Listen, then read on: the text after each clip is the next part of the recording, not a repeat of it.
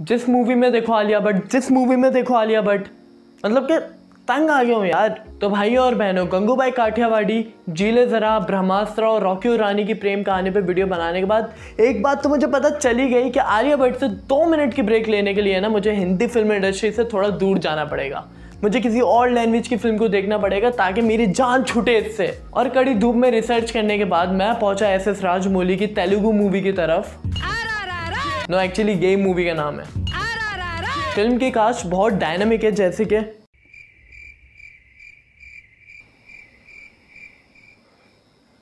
Okay I quit मुझे नहीं करना ये सब कुछ। मुझे नहीं करना है। ये मेरे जान नहीं छोड़ यार या बट हर फ़िल्म में आ रही है। बताओ बताओ फैक्ट्स बताओ।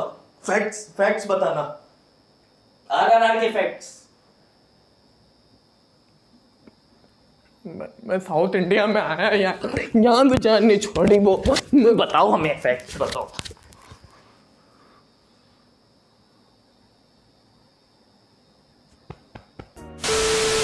After the record breaking success of Baahubali and Baahubali two S S Rajamouli आ रहे हैं अपने एक और बड़े प्रोजेक्ट के साथ आर आर आर जिसका फुल फॉर्म है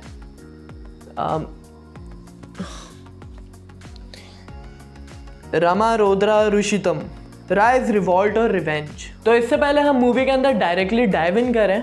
उससे पहले एक छोटा सा इंट्रो देखो और फिर वापस आते हैं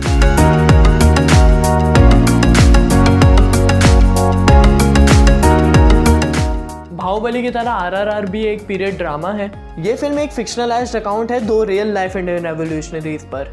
अलूरी सीतारामा राजू जो कि प्ले किया है रामचरण ने एंड कोमोरम भीम जो कि प्ले किया है एंटी आर ने।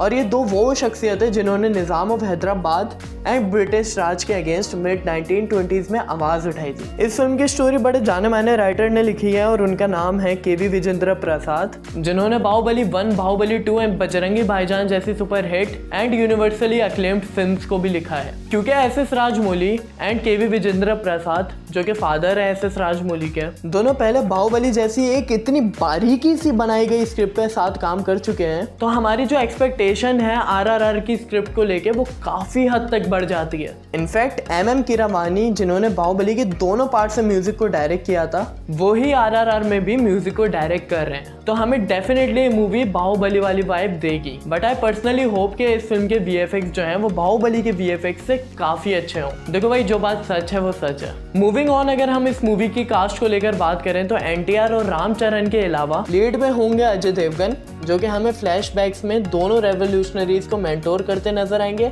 आलिया भट्ट, जो कि अपोजिट होंगी रामचरण के। और सपोर्टिंग रोल्स में होंगे ओलिविया मोरिस समूथिरा कानी रे स्टीविंसन एंड एलिसन डूडी। अब मुझे पता है कि आप लोगों के दिमाग में एग्जैक्टली क्या चल रहा है। क्योंकि ये एक तेलुगु फ़िल्म है। तो आलिया भट्ट और अजय देवगन क्या कर रहे हैं इस मूवी में? राइट देखो, यहाँ पे हम सही भी हैं और गलत भी हैं। अभी समझाता हूँ। देखो, ये बात तो सच है कि आर आर आर एक तेलुगु फ़िल्म है, लेकिन वो तेलुगु फ़िल्म के अलावा एक पैन इंडिया फ़िल्म भी है। पैन इंडिया वो फिल्म्स होती हैं जिनकी मार्केट उनके लैंग्वेज की वजह से रिस्ट्रिक्टेड नहीं होती। इनफैक्ट इन मूवीज़ को बनाया ही पूरी इंडियन ऑडियंस को जहन में रखकर है। देखो, ये बात तो हम सब जानते हैं कि इंडिया के अंदर काफ़ी सारी लैंग्वेजेस हैं और ऑलमोस्ट हर लैंग्वेज की अपनी छोटी बड़ी फ़िल्म इंडस्ट्रीज़ है। यूजुअली जब कोई किसी लैंग्वेज में फ़िल्म बनाता है तो वो उसी ऑडियंस को टारगेट करती है जिन्हें वो लैंग्वेज आती है। और वो फ़िल्म जो होती है, वो फिर उन्हीं सर्किट्स में परफॉर्म करती है। जैसे मुंबई में मराठी और हिंदी फ़िल्म पंजाब में Punjabi film and so on लेकिन ये जो पैन इंडिया फ़िल्म होती है ना ये सिर्फ़ डबिंग नहीं करते सारी लैंग्वेजेस में बल्कि ये लोग मेक श्योर करते हैं कि भाई इनके जो प्लॉट है इनकी जो स्टोरी है वो कनेक्ट कर पाए सारे इंडियंस के लिए। Baahubali K G F two point O Saaho ये सब कुछ रिसेंट फ़िल्म हैं जिन्होंने अपनी पोटेंशियल मार्केट को तीन से चार गुना बढ़ा दिया सिर्फ़ पैन इंडिया होने की वजह से। तो अजय देवगन और आलिया भट्ट यहाँ काम आते हैं। जहाँ पे के जैसी फ़िल्म को अपने वर्ड ऑफ़ माउथ से हिंदी ऑडियंस को थिएटर्स की तरफ़ अट्रैक्ट करना पड़ा वहाँ आर में इन दोनों स्टार्स की मौजूदगी फ़िल्म को हिंदी स्पीकिंग ऑडियंस के बीच पहले से ही एक प्री रिलीज़ हाइप दे देगी। सितंबर 2018 को इस मूवी को ऑफिशियली अनाउंस किया था with the title RRR and film जो है वो पूरी तरीके से रेडी हो चुकी है। इनफैक्ट 2020 अप्रैल में इस फ़िल्म की सारी लैंग्वेजेस में डबिंग भी कंप्लीट हो चुकी है। तो अभी सिर्फ़ इंतज़ार है थिएटर्स के खुलने का। बाकी फ़िल्म तो पूरी तरीके से रेडी है। And we all know film की प्रमोशन काफ़ी अरसे से स्टार्ट हो चुकी है with different teasers and posters जैसे कि मैंने आपको लास्ट वीडियो में तख्त के बारे में बताया था, उसी तरीके से ये मूवी भी एक पीरियड ड्रामा है। और इस मूवी को भी किसी ओ टी प्लेटफॉर्म पर करना एक बहुत बड़ी बेवकूफ़ी होगी। For a while just imagine अगर Baahubali O T T platform पर रिलीज़ होती तो क्या उसकी इतनी हाइप बनती? तो क्या वो इतना कमा पाती? घंटा। तो ऑफकोर्स जो मेकर्स हैं, वो थिएटर्स खुलने का वेट करेंगे और मूवी को वहीं पे रिलीज़ करेंगे। और सबसे अच्छी बात पता है क्या है? मेकर्स जो हैं, वो हर थोड़े दिन में कोई ना कोई टीजर्स या फिर इंट्रोज बना रहे हैं। अब कुछ बेवकूफ़ लोग हैं, वो ये बोल रहे हैं कि भाई, ये लोग इतना पैसा क्यों लगा रहे हैं टीजर्स और इंट्रोज में? तो मैं उनको ये जवाब देना चाहता हूँ कि भाई, एक मूवी ऑफिशियली अनाउंस हो चुकी है, ठीक है? पोस्टर भी रिलीज़ हो चुके हैं।